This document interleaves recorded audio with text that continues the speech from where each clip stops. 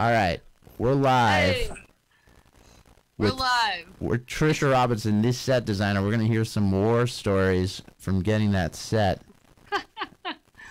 into uh, Manhattan like that. So take us take us back to the beginning because this is a crazy story. It was it was a wild ride and it was great. And uh, I mean, first of all, I'm so happy to be a part of it, and it was so much fun. But um, so you you contacted me. What was it like early early 2019? Uh, your briefing was you wanted a living room set, yeah? Right, right. Yeah. I think it was just like a simple, you're like living room, whatever. But uh, you know, it was like, dude, we gotta do we gotta do the basement that you guys shoot. Are you kidding me? Come on, yeah. Um, it's just so iconic, and I knew like everybody would would love it. You can see the striped couch, you can see like the fireplace and stuff. So, um, I mean, you were like immediately like, oh hell yeah. like you get the best. I, I love your feedback, by the way. Like it's just like yes, yes, love it. So uh, yeah, I think um, you know you gave me like a week to do the designs, um, which was great. Uh, I think I did what like ten versions, and you're like first one. That's it. Right, right. Yeah. You're like nope, nope, first one. Which it was really fun it was really cool going through all your videos you know because like not being not being able to physically be in a place it's like i'm putting together this puzzle from like these little tiny clips behind your guys' heads like trying to figure out what this place looks like and then making it a set so uh, it was a lot of fun doing that though and uh, you know like trying to get the um, the right designs for the tapestries and all like the visual cues that would like make people know it was the basement. So uh, yeah, you just approved the first design, and then you reached out to Tyler. Huge shout out to Tyler. what a what a great guy. Oh, and yeah. he just he immediately was on board. He was just like so stoked for us to come get all his furniture. Like, okay, can we take your furniture for a week? Like everything in your basement? right, right. what a great guy. Um, yeah, he was okay with it. And then your sister contacted a person in New York to build the set for us for really cheap, which was really nice. She's Uh, she's a corporate warrior. She's she knows what she's doing. Yeah. Yeah, your sister was great. Like, you got such a great group of people that are supporting you guys and making it happen. Um, yeah, so we got the we got the design. Uh, we went, flew into Ann Arbor, which uh, it was a lot of fun, man. It's it's just a, a passion project, you know. We do we have it's just me and my husband loading up this this truck with all this furniture. Unbelievable. Unbelievable. It was a lot of fun, you know. you- like I don't You were Yeah. you had shipped a fireplace that you had built yeah from yeah, LA so- to Ann Arbor. Yeah, so um, this this fireplace, they have this cool stuff, and it's only available in LA for building, you know, sets out of fake materials, where it's um, this fake brick that you paint to look like brick, Mm. so it's a lot lighter. So uh, I was like, oh, we should we should build a fireplace out here because we have that material, so we shipped it, and. Uh, You were there for the whole debacle, the uh, I not at there. Tyler's house. I wasn't there. You were there. I, I was contacting you in a in a frantic. Uh, where is this fireplace? So she had Um, shipped a shipped a massive fireplace and Yeah, to a person's house. That person was off the grid at a festival, and we didn't know where this fireplace was. A huge fireplace. that said it was delivered. It wasn't anywhere. You're like you're like check out Tyler's house. I'm looking around. I'm like it's it's huge. Like I should be able to see it. It's not under a doormat or anything like that. I'm just like oh god. We had a backup though. We did have a backup in New York. I, I found a rental. Oh, really? It wasn't.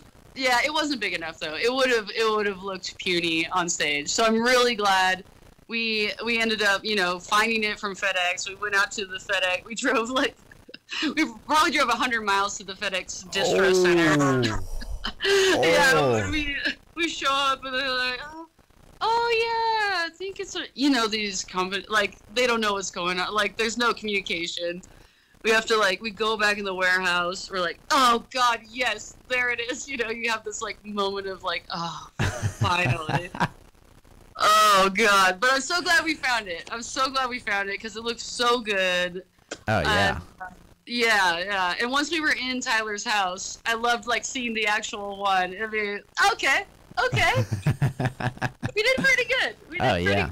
Yeah, Yeah. uncanny. Yeah, and uh, So then you stuck everything in a U-Haul. Uh, uh, actually, a uh, not a U-Haul, the green one. Ryder? No, no, no, no. It was uh, damn. I really want to give them a shout out because they have way better trucks. Oh, interesting. That would be a great shout out right now. Yeah, yeah. It's uh, it's not Enterprise. Uh, damn it, it might come to me later. But they have they have the Isuzu trucks, which are essential if you're going to be driving a truck through Ah. Manhattan. Are those You wanna- Japanese? You want a nice Japanese Isuzu that goes straight down from the window, and you get that nice, you know, if you're going to hit a pedestrian. Wait, wait. Wow. Oh, These are but- this but is was- industry uh secret. Azuzu. all all the secrets. You got to go for the Zuzu. Okay. Um, yeah, yeah. It was. Uh, I don't know if I let you in on the the massive amount of stress that I felt during this whole process. Is that have- is that your superpower as well? That you you It, sure, it might help. It helps you, you know, assess every situation and everything that could possibly go wrong. right right which creates a lot of anxiety but then also you know it's it does help you from uh so from other, things not going wrong. other people But, might uh, not be feeling that and they won't they won't deliver and you know I don't know Yeah, is that is that a trait of set designers? oh 100% Okay. 100% yeah yeah yeah we uh we definitely you know like film people are i think high anxiety people in general and that's why we're, we're pretty good at our jobs you know we're just we're just like so on like on top of it every situation that could possibly go wrong you can't sweating lose the one small sweating the small stuff as they say. Yeah. exactly That's what it takes. So, yeah, so the things I went through were uh, on our way, you know, well, at first I got a lock that would uh, sound an alarm if anybody tried to touch it Wow. without knowing the right code. Uh, that's my number one thing. The second thing, uh, every place I stayed at along the way, I got a room where I could see the truck from the room. which would help me uh, at midnight. I was just, you know, if we if we lost anything, it was like we're not gonna like those are the authentic pieces. It's like priceless. right Like you right. can't you can't lose those things. Uh, so yeah, I could see the truck all the time. Um, and then we got a um, 24-hour security lot in New York. But the kicker, we put uh, my husband's phone in the back of the truck. So if anything did happen to the truck, I had an alert on if the truck moved at all. it would it would sound an alert on my phone. Those poor So- criminals, though, if they stole that, it's a bunch of living room furniture from Michigan. I know, I know, right? But uh, but you never know. You never know. But uh, yeah, we got it all there. It was, it was totally great. Um, on the day, man, everybody was just so helpful. All the all the union, local one, New York guys, just Local one, wow. local one. Yeah, The it was first one? crazy. The first one. Um. I'm local 800, so it's kind of mind blowing. Like I'm that low on the on the totem pole. no, they were all they were all real nice, but they were very. Um, it it was I think Madison Square Garden was very just like blown away by like the vibe everybody brought. They're just like, who is this band? What is this set that you guys are doing? Like, are you the, the, the local one guys like? Oh, what you guys, what you guys moving in? Are You guys setting up a, a goddamn living room? Like, what's you guys have a thrift store in here? Like, what's going on? Like, they just they're not used to that kind of thing, right, you know. right.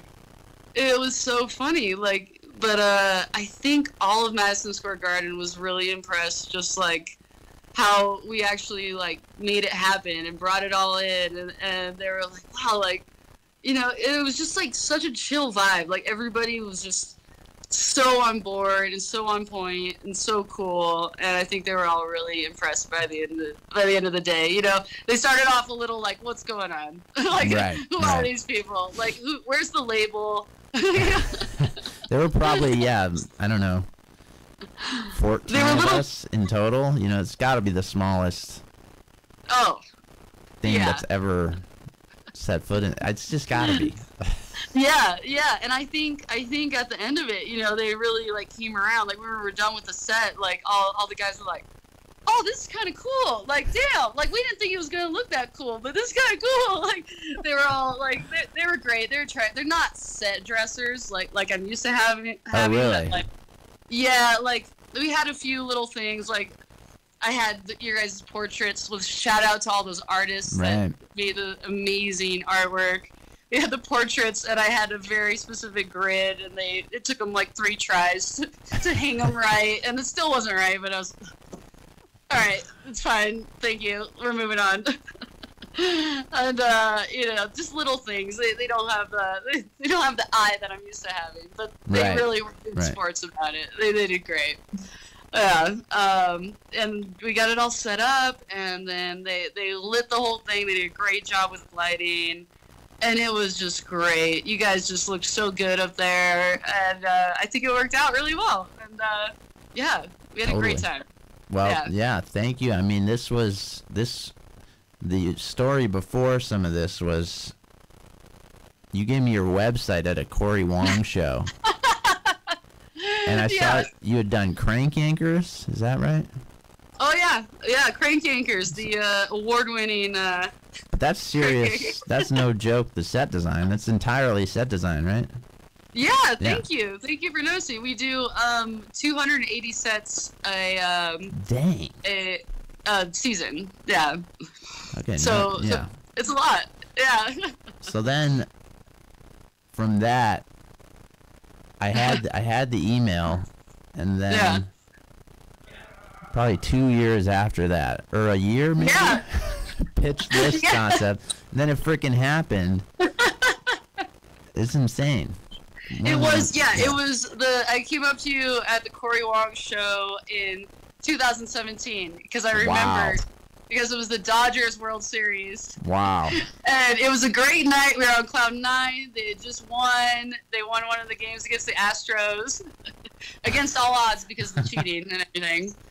Uh, uh, but uh, yeah, they just won. I was feeling good. Yeah, yeah. But thank you, thank, thank you for remembering me after. Uh, yeah, after after all that. Insanity. Insanity. Yeah, no, so stoked to be a part of it, and uh, it was just yeah, it, it was awesome. Uh, I do have a few things. Did you? Well, Like, we're live. We're live. We're yeah. Yeah, there were a few little like details. I don't know if people noticed. Oh, okay. Great. Great. Great. Yeah, because there were a lot of little Easter eggs in the set. Oh, cool. Cool. cool. Yeah, yeah. So, um, let me see. Oh, the the really cool one that like I was really stoked that we got was Theo's dad's album. That was- Ooh. Yeah, yeah, that one was really tight. Like when we went to his house in Ann Arbor, or uh, the the basement in Ann Arbor, Theo was there, and uh, he was like, "Oh, there's this one thing that I really wanted you to include," and I was like, "Oh yeah, I was always gonna put it up." Yeah, but uh, it's his yeah, it was his dad's album that's in like behind your head on top of the fireplace, on top of the mantle. Right, Uh, right.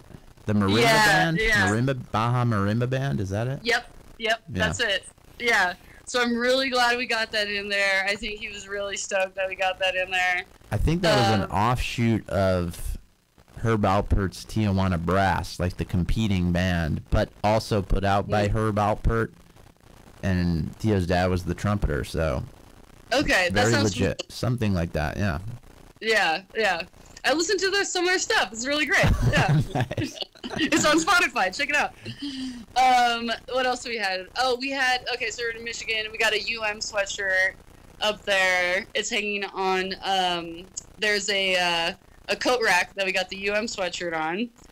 Um, we got uh, binoculars for Woody, a really nice pair of binoculars, um, which he used at one point during the show, which was really nice. Yes, Yeah. yes.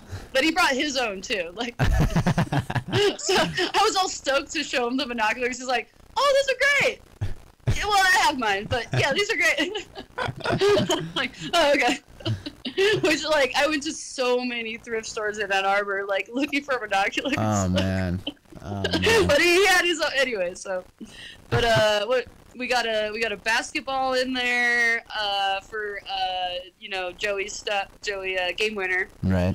Uh, we got DiMaggio jersey, of course. Of course. Uh, and then we had a baseball mitt and a baseball. I think uh, I think um, uh, Antwaun was playing around with that at one point. Uh, I really appreciated all the interaction with the stuff. Um, we got oh, I I'm sure you didn't notice, but I had a book about beans. Oh really? I did. Yeah, I found a book about beans at a thrift store in Ann Arbor. So nobody would ever know, but now they do. It's up there. This book about beans. Nice. Um, we had a computer with Pro Tools on there. That was a lot of fun. Uh, we had a little Santa doll for Christmas in LA. Um, and then the really cool thing that I, I was pretty proud of the tapestries. Yeah. We had, yeah, we had the Vulf birds Mm. worked into the tap. Those little um, from like uh, Birds of a Feather. Yes, Jair. Jair Sotelo did that animation, and they Well, keep, yeah, they keep popping up now. They keep popping up. Yeah. They're great. They're pretty iconic. Yeah. Yeah. So we got those in there, and then we also got um, some zodiac symbols. I had the designer do some zodiac symbols. I didn't notice. yeah, it's it's all these re- very small little Easter eggs that like people. Yeah, I wouldn't expect anybody to see, but uh, you know, I tried to get any little Vulf trivia in there that I possibly could, and I think I think we hit them all. I I think I hit any little thing that you guys could possibly. Wow. not that not that anyone would notice, but it was so much fun putting it all together and like just thinking of all the fun stuff that we could do and it had such a great time. So Oh, great. Great. I hope you guys liked it. I hope I hope it worked out for you guys. Just Are you kidding? probably the greatest night. Have you ever seen any of our other shows? It's like a bit of an upgrade. Yeah, no, it's phenomenal. No, no, it's all about you guys, and I'm glad. I felt like it was a good background. You know, nothing to like overpower or anything. You know, we're not uh like I, I I was really stoked. Like you guys, you know, like even without like the the LED walls, like of you guys, like a camera focused on you guys and everything. Like I felt like it was the perfect vibe. Oh you- yeah. Oh yeah. Yeah. Oh yeah. yeah, Absolutely. No, we so great. we um I I see where uh where stuff's going now with the, you know, just I don't know if you watch Metallica's uh touring show. It's like I the light wall the light wall is enormous. yeah yeah. I think Kiss is coming to town. I'm just, you know, I got since your thing, I got into it, and I was like, whoa, we really, uh, we kept it pretty Amish for this one, you know, like the whole vibe. But it, that was the whole point. So, you know, Yeah, yeah. yeah. Someone called me out that a band had done this in the '70s, like put their, which I was unaware. of. Really? Yeah, someone had built or had just put lamps on stage. So, Oh well, there's a yeah, um, and then um, what's his name? Eddie Vedder's band. Uh, they did that too. okay, Uh, okay. What what what's Eddie Vedder's band? Uh, Oh, the freaking Pearl Jam, right? Pearl Jam. Yeah, yeah. Okay. Pearl Jam. Pearl Jam used to do that too. They used to put uh, lamps on stage. Okay. Okay. So Yeah. we're we're yeah, it's it's a thing. it's a thing. Shout out to Luce, my sister, uh, for the light Yes. box upgrade. Yes. Made like the, the light box. Yeah. But yeah, people should. Maybe I'll somehow post the uh, original design you did because it's I, it's exactly what Oh. ended up happening. So yeah, yeah. just- It was it was pretty darn close. Pretty darn close. Yeah. So big shout out right now to everyone coming in the pledges. Down with the soapness. There's a lot of. Hey. Uh, we're on the line with Tricia Robertson, the set designer, production designer, transporter of the set of the MSG set. Definitely the MVP of the night, without a doubt. Oh Um, yeah, yeah, yeah. Yes. It was a pleasure. It was an honor and a privilege, and I think it worked out great. Uh, just so stoked for you guys. Like, what a night, man! Ah, Like we're reliving it right now on the live stream. Um, that night, man. Everybody was just so. It was the best feeling. Like, just the most positive vibe I think that the world has ever experienced. I had a great time. I had a great time. It was so much fun. Yeah, yeah. You guys are great. And you curate such a great group of people. Just everyone involved, like everyone backstage, like just good vibes all around. You know, you could just tell. You're like great group. It was Oh, so much. oh yeah. yeah. Well, big shout out right now to Tricia Robertson, the set designer of Live from Madison Square Garden Vulfpeck show. We're gonna return back to the stream. Thank you so much for taking the time to join us. Uh, Of course. of course. This is the best way to start out 2020. Yeah. That's right. Well, this is actually the 2019 pledge drive, so we're just gonna kind of keep it there in that zone. it's All a right. great way to end 2019 then. Yes, thank How you. that? All right. Thank you, Tricia. Thank you, man. It was so great. Best All night. All Had a great time. All right. All right. Peace Have a good one. Yes. All right, that was Tricia Robertson. Pledge now at vulfpeck.com. That whole set was Tricia's brainchild and execute from from from thought bubble to execution. All right, let's tune back into the show.